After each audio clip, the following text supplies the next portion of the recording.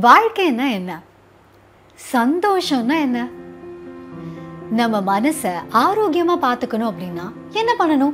ஒண்ணு நம்ம மனசையும் உடலையும் எந்த நோயும் வராம பத்திரமா பார்த்துக்கணுமா இல்ல அது ஃபேஸ் பண்ணி நம்மளையும் நல்லா பார்த்துக்கிட்டு நம்ம சமூகத்துக்காகவும் திறமையா வேலை செய்யணுமா? இத பத்தி உலக சுகாதார நிறுவனம் என்ன சொல்றாங்க அப்படின்னா நம்ம மனசை ஆரோக்கியமா பாத்துக்கிறதுக்கு இது ரெண்டுமே முக்கியம் அப்படின்னு. பிரச்சனை எந்த ரூபத்துல வேணாலும் வரலாம். வேலை இல்லாம இருக்கிறது காசு பத்தாம இருக்கிறது இல்ல குடும்பத்துல ஒரு பிரச்சனை ஆண் பெண் வேறுபாடு இந்த மாதிரி பிரச்சனைகள்ல ஆரம்பிச்சு வெளியில போனா வன்முறை வறுமை போர் அப்படிங்கிற மாதிரி சமுதாயத்திலயும் நிறைய பிரச்சனை இருக்கு. இதையும் தாண்டி நம்ம காலையில இருந்து என்ன சாப்பிடுறோம் எங்க போறோம் யார பாக்குறோம் என்ன பேசுறோம் என்ன யோசிக்கிறோம்னு எந்த ரூபத்துல வேணாலும் பிரச்சனை வரலாம். இப்படி எந்த பிரச்சனை வந்தாலும் தனி நபரா இது எல்லாத்தையுமே சமாளிக்கிறதுக்கு நம்ம வாழ்க்கைய ஆரோக்கியமா சந்தோஷமா நடத்துறதுக்கு தேவைப்படுற ஒரு முக்கியமான விஷயம் தான் வாழ்வியல் திறன்கள் அப்படின்னு சொல்லுவாங்க. அதாவது ஆங்கிலத்துல லைஃப் ஸ்கில்ஸ் லைஃப் ஸ்கில்ஸ் நம்ம எல்லாருக்குமே ரொம்ப முக்கியம். ஆனா இதுல இன்னும் குறிப்பா பதிமூணு வயசுல இருந்து பதினேழு வயசுல இருக்க குழந்தைகள் இந்த பருவத்துல தன்னோட ஃபியூச்சருக்கு தேவையான எல்லா லைஃப் ஸ்கில்ஸையும் கத்துக்கிறாங்க அப்படிங்கறதுனால இந்த பருவத்துல அவங்க என்ன கத்துக்கிறாங்கங்கிறது ரொம்பவே முக்கியம். இந்த இடத்துல தான் டீச்சர்ஸான உங்களுடைய கைடன்ஸ் குழந்தைங்களுக்கு அதிகமாகவே தேவைப்படுது. டீச்சர்ஸான உங்களுக்கு வாழ்க்கையில நிறைய அனுபவங்கள் இருக்கு. அதையும் தாண்டி உங்க ஸ்டூடெண்ட்ஸ் மேல உங்களை விட யாருனாலையும் அதிக அக்கறையும் அன்பும் செலுத்த முடியாது அப்படிங்கறதுனால இந்த ப்ராப்பரான ஏஜ் குரூப்ல இருக்க குழந்தைங்களுக்கு இந்த நேரத்துல நீங்க கொடுக்கக்கூடிய லைஃப் ஸ்கில்ஸ் அண்ட் கைடன்ஸ் ரொம்பவே முக்கியமானதா அமையும். இது சம்பந்தமா உலகம் முழுக்க நிறைய ஆராய்ச்சிகள் பண்ணியிருக்காங்க. அதுல இருந்து நிறைய அலசி ஆராய்ஞ்சு யூனிசெஃப் நமக்கான பத்து லைஃப் ஸ்கில்ஸை அட்டவணைப்படுத்தியிருக்காங்க. இந்த வீடியோல அந்த பத்து லைஃப் ஸ்கில்ஸ் என்னென்ன அது ஏன் நம்ம வாழ்க்கைக்கு ரொம்ப முக்கியம் அப்படிங்கறத பார்க்க போறோம். இது ரொம்ப சுலபமாகவும் ஆழமாகவும் புரிஞ்சுக்கிறதுக்காக பத்து லைஃப் ஸ்கில்ஸையும் நாலு கேட்டகரிஸா பிரிச்சிருக்காங்க. அந்த ஒவ்வொரு கேட்டகரியும் ஒன்னா பார்க்கலாம். முதல் கேட்டகரி லேர்னிங் டு லிவ் அதாவது வாழ்க்கைய வாழ கத்துக்கிறது. இதுக்கடியில ரெண்டு லைஃப் ஸ்கில்ஸ் இருக்கு. அதுல ஒன்னு எம்பத்தி இன்னொன்னு பார்ட்டிசிபேஷன் ஃபர்ஸ்ட் ஸ்கில் எம்பத்தி இரக்க குணம் அனுதாபம் அப்படின்னு இது எப்படி வேணாலும் சொல்லலாம். பொதுவா நமக்கு முன்னாடி இருக்கிற ஒரு நபர் ஏன் கோவப்படுறாங்க? இப்படி ஏன் பிஹேவ் பண்றாங்க? அவங்களோட சூழ்நிலையில இருந்து ஒரு நிமிஷமாவது நம்மளால யோசிக்க முடியும் அப்படின்னா அதை தான் எம்பத்தி அப்படின்னு சொல்றோம். இது பிறவி குணமா தான் இருக்கணும்னு அவசியம் கிடையாது. நம்ம வாழ்க்கையில இது ரொம்ப இம்பார்ட்டன்டான ஒரு விஷயம் அப்படிங்கறதுனால எப்ப வேணும்னாலும் கத்துக்கக்கூடிய ஒரு திறன் தான் இது. ரெண்டாவது லைஃப் ஸ்கில் பார்ட்டிசிபேஷன் அதாவது பங்களிப்பு. நம்ம வாழ்க்கையில நம்ம சுத்தி பல விஷயம் நடக்கும் மாறிக்கிட்டே இருக்கும். ஆனா அது தன் போன போக்குல போகாம நம்மளோட பார்ட்டிசிபேஷன் மூலமா பங்களிப்பு மூலமா அது இன்னும் எவ்வளவு பெட்டரா சந்தோஷமா மாத்திக்க முடியும் அப்படிங்கிறதுக்காக தான் இந்த ஸ்கில் இதையே நான் பண்ணணும் இதுக்கும் எனக்கும் என்ன சம்பந்தம்? அப்படின்னு யோசிக்காம இது என்னோட ஸ்கூல் என்னோட வீடு என்னோட நாடு அப்படின்னு சொல்லி மனசார நம்மளுடைய பார்ட்டிசிபேஷனை கொடுத்து அதுக்கான பொறுப்பேத்து நம்மள மட்டும் இல்லாம நம்ம சமூகத்தையும் அடுத்த லெவலுக்கு கொண்டு போறதுக்கான ஸ்கில் தான் இது. எம்பத்தி மற்றும் பார்ட்டிசிபேஷன் இந்த ரெண்டு ஸ்கில்லுமே சிட்டிசன்ஷிப் அதாவது குடியுரிமை அப்படிங்கிற கேட்டகரிக்குள்ள வரும். ரெண்டாவது கேட்டகரி லேர்னிங் டு பி அதாவது தன்னிலை அறிந்து கற்றுக்கொள்வது. இதுக்கு கீழே மூணு லைஃப் ஸ்கில்ஸ் இருக்கு. ஒன் செல்ஃப் அவேர்னஸ் ரெண்டாவது கம்யூனிகேஷன் மூணாவது ரெசிலியன்ஸ் இந்த கேட்டகரியில இருக்கிற முதல் லைஃப் ஸ்கில் செல்ஃப் அவேர்னஸ் அதாவது சுய விழிப்புணர்வு. நமக்கு எப்பவுமே நம்மளை பத்தி நல்லா தெரியும் அப்படிங்கிற மாதிரி தோணும். ஆனா எல்லாருடைய பேசிக் நேச்சரும் மாறிக்கிட்டே தான் இருக்கும். ஸோ அந்த மாற்றத்துக்கு ஏத்த மாதிரி தனக்கு என்ன பிடிச்சிருக்கு தான் யார் அப்படிங்கிற அந்த விழிப்புணர்வு தெரிஞ்சுக்கிறதுங்கிறது ஒரு முக்கியமான லைஃப் ஸ்கில் உதாரணத்துக்கு ஒரு ஸ்டூடெண்ட் இருக்காங்க. சீக்கிரம் காலையில் எழுந்து ஸ்கூலுக்கு டயத்துக்கு பெல் அடிக்கிறதுக்கு முன்னாடி போகணும்னு யோசிக்கிறாங்க. ஆனால் டெய்லியும் லேட் ஆகுது. ஏன் லேட் ஆகுது? சீக்கிரமாக தூங்காமல் லேட்டாக தூங்குறோம் அப்படிங்கிறத உணர்றது. அதுக்கப்புறம் ஏன் சீக்கிரம் தூங்கல? போனை ரொம்ப நேரம் யூஸ் பண்ணிட்டே இருக்கிறதுனால லேட்டா தூங்குறோமோ அப்படிங்கறத கண்டுபிடிக்கிறது. இப்படி நம்ம ஒரு தவறு நடக்குது அதை மாத்தணும் அப்படின்னு நம்ம யோசிக்கும் போது எந்தெந்த இடத்துல எல்லாம் தவறு நடந்திருக்கு அப்படிங்கிற அந்த அவேர்னஸ் இருந்தா அது மாத்துறதுக்கான வாய்ப்பும் நமக்கு அமையும். அடுத்த லைஃப் ஸ்கில் கம்யூனிகேஷன் அதாவது தொடர்பு திறன். செல்ஃப் அவேர்னஸ் மூலமா நமக்கு என்ன பிடிக்கும்? நம்ம யாரு? நமக்கு எது பிடிக்காது அப்படிங்கறத தெரிஞ்சுக்கிட்டதுக்கு அப்புறமா இது எப்படி இன்னொரு நபர்கிட்ட சொல்றது? நமக்கு எல்லா விஷயமே பிடிக்கணும்னு அவசியம் இல்லை. பிடிக்காத விஷயத்த சொல்லாமல் இருக்கணுங்கிறது அவசியமும் கிடையாது. ஒரு விஷயத்தை பத்தி பேசாம இருந்தாலும் பிரச்சனை அதிகமா பேசினாலும் பிரச்சனை. பட் எப்படி பேசுறோம் அப்படிங்கிறது ரொம்ப முக்கியம். சின்ன வயசுல இருந்து சமத்தா இருந்த குழந்தைங்க கூட இந்த பதிமூணு வயசுல இருந்து பதினேழு வயசு வரைக்கும் வரும்போது எழுத்து பேசுறது அதிகமா கோவப்படுறது அப்படிலாம் பிஹேவ் பண்ணுவாங்க.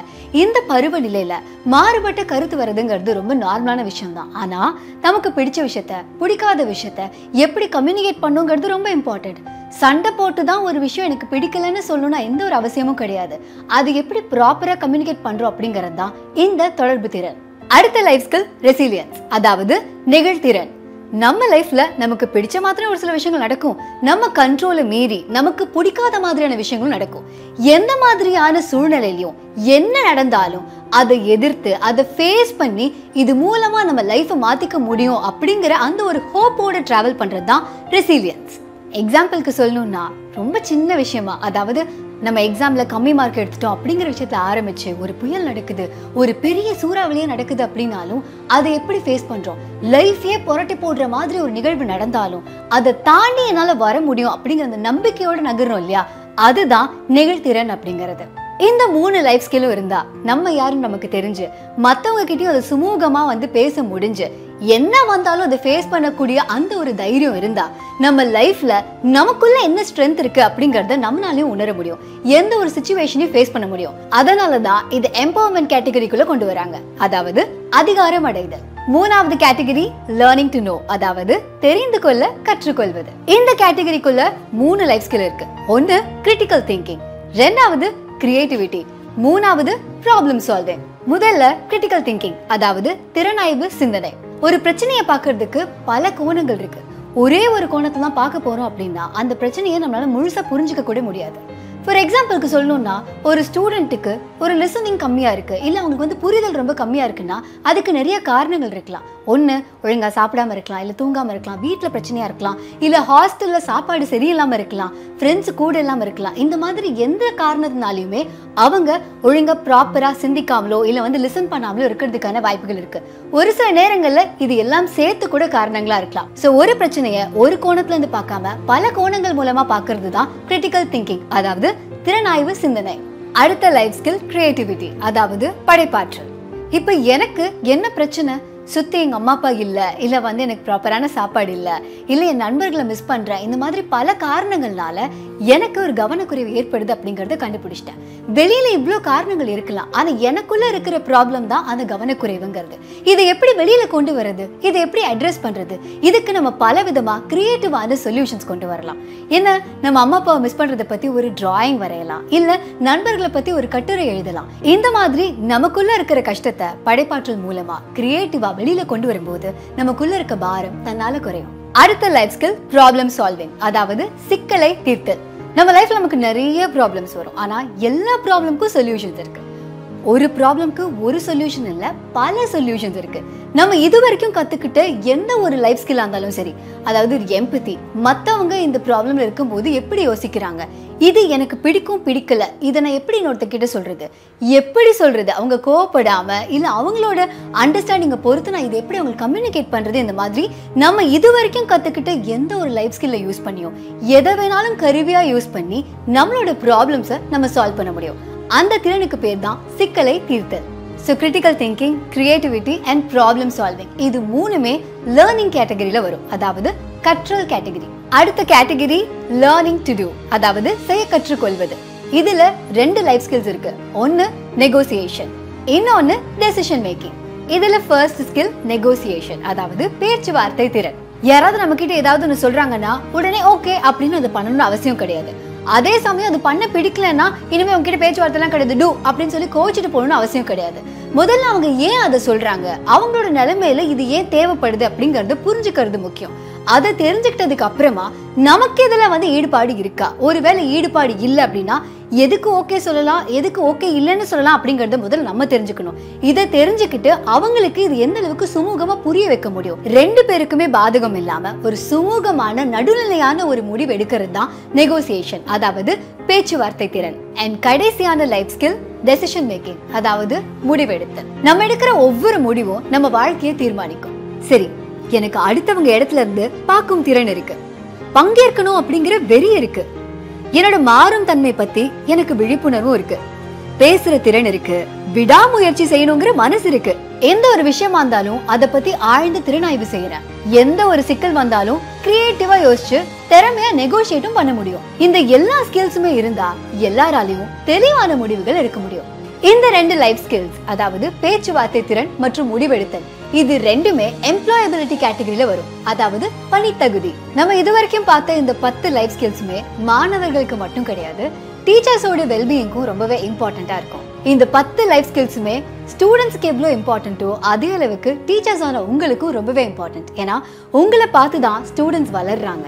நீங்க நல்லா இருந்தா தான் உங்களோட வழிகாட்டுதலோட அவங்களும் நல்லா வளர முடியும். யூனிசெஃப் தயாரிச்ச நாலு கேட்டகரிஸையும் இந்த பத்து லைஃப் ஸ்கில்ஸையும் இப்போ ஒரே சிங்கிள் ஃப்ரேம்ல பார்க்கலாம். சரி இது வரைக்கும் கத்துக்கிட்ட இந்த பத்து லைஃப் ஸ்கில்ஸையும் நானும் உபயோகப்படுத்திக்கிட்டு எப்படி என்னோட ஸ்டூடெண்ட்ஸ்க்கும் கற்றுக் கொடுக்கறது அப்படிங்கிற யோசனை உங்களுக்கு வந்திருக்கும். பட் அதை பற்றி நீங்கள் கவலைப்பட வேணாம். இந்த பத்து லைஃப் ஸ்கில்ஸையும் டீச்சர்ஸான நீங்கள் ஜாலியாக கற்றுக்கிட்டு ஸ்டூடெண்ட்ஸுக்கும் ஈஸியாக கற்றுக் கொடுக்கறதுக்காக தமிழ்நாடு பள்ளி கல்வித்துறையும் யூனிசெஃபும் நலந்தாவே ஃபவுண்டேஷனும் சேர்ந்து இந்த ரெண்டு புத்தகங்களையும் தயாரிச்சிருக்காங்க. இந்த ரெண்டு புத்தகங்களை பற்றி இன்னும் விரிவாக தெரிஞ்சுக்கிறதுக்கு அடுத்து வர ரெண்டு வீடியோஸை நீங்கள் பார்க்கலாம். வணக்கம்.